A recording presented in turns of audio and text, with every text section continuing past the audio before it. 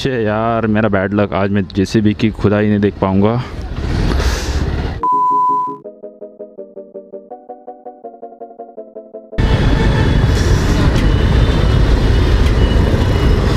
क्या दिख रहा है बंटाई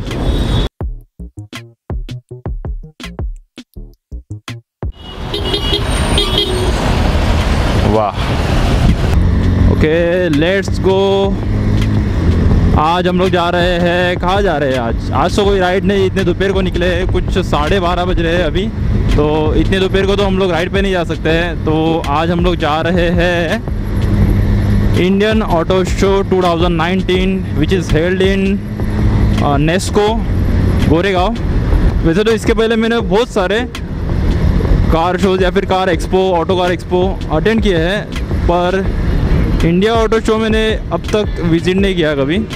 इसके पहले मैंने पार सुपर कार रैली भी अटेंड की है। ऑटो कार इंडिया 2018 1970 हर एक करते ही आ रहा हूँ मैं। और उसके बाद में इंडियन ऑटोमोटिव ट्रेड फेयर भी मैंने अटेंड किया वैसे।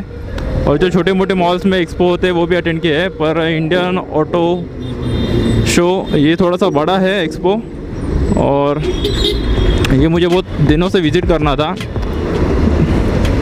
ये शायद से एक ट्रेड फेयर भी है कि यहाँ पर ऑटो कार एक्सपो के जैसे हम लोग को सुपर कार शायद से देखने नहीं मिलेगी।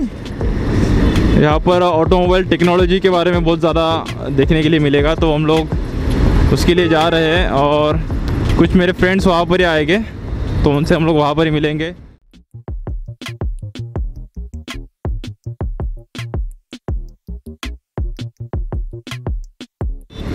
सो आपको आज हमारी बाइक में कुछ अलग दिख रहा होगा। देख लीजिए, क्या अलग लग रहा है। इसे छोड़ दीजिए। इसे छोड़ दीजिए बस। हाँ ये मीटर। मीटर आज हमारा चल नहीं रहा है। आज नहीं, बहुत ज़्यादा दिनों से शायद बंद है ये मीटर। बहुत दिनों से हमारी बाइक घर पे ही खड़ी थी, घर के पास। क्योंकि मानसून सीज़न था, मुझे अपना जॉब स्विच करना था और मैं नई मुंबई शिफ्ट होने वाला हूँ तो उसकी वजह से भी मुझे बहुत ज़्यादा तैयारी करनी थी। उसी कारणवश हम कुछ दिनों से राइड नहीं कर पाए। और उसी दौरान मानसून सीज़न में हमारे यहाँ पर बहुत सारे मेहमान आते हैं छोटे छोटे काले काले हाँ वही वही चूहे। और मेरी गाड़ी कवर आ, मेरी बाइक कवर्ड पार्किंग में रहती है तो बहुत सारे चूहों को उनका घर मिल गया था। और उन्हें जब भी भूख लगती थी तो वो हमारी गाड़ी की वायरिंग खा रहे थे। तो बहुत ज़्यादा वायरिंग टेपिंग के बाद आज हमारी गाड़ी चल रही है, पर उसका मीटर चालू नहीं हो पाया।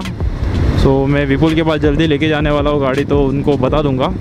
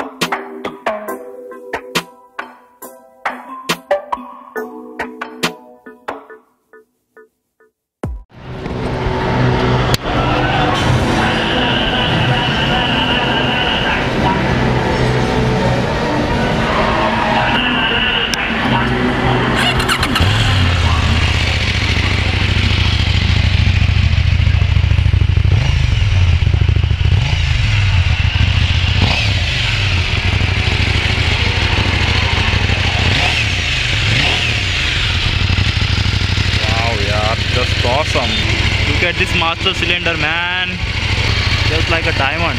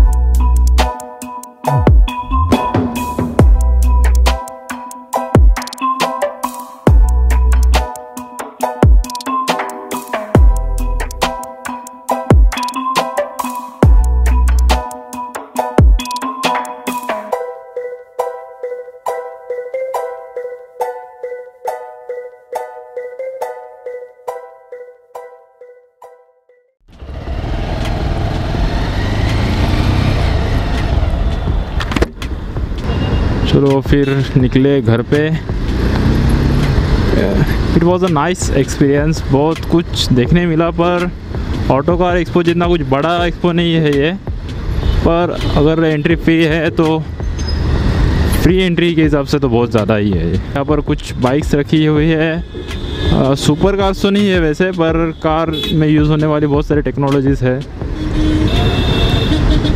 बहुत सारी न्यू टेक्नोलॉजीज़ लॉन्च हुई है, जैसे paint protection gasket protection and mirror light many many more और कुछ ही दिनों बाद हम मराठी ब्लॉग भी अपलोड करने वाले हैं। तो आप मुझे अपना सजेशन बताइए कि मेरा ये आइडिया अच्छा है या नहीं। क्योंकि मुझे बहुत लोगों ने सजेस्ट किया था कि मराठी ब्लॉग्स भी आने चाहिए, मराठी ब्लॉग्स भी देखने हैं। तो जल्दी से जल्दी मैं ऐसे कुछ ब्लॉग्स लाने की कोशिश करूँगा आपके लिए। चलो, मैं इस ट्रैफ़िक से निकलता हूँ। फिर हम लोग जल्दी मिलेंगे वापस। तब तक के लिए thanks for watching this video if you like this video please like share and subscribe. Stay tuned for the next vlog. Take care. Bye bye and always remember follow your passion and never regret in your life. Bye bye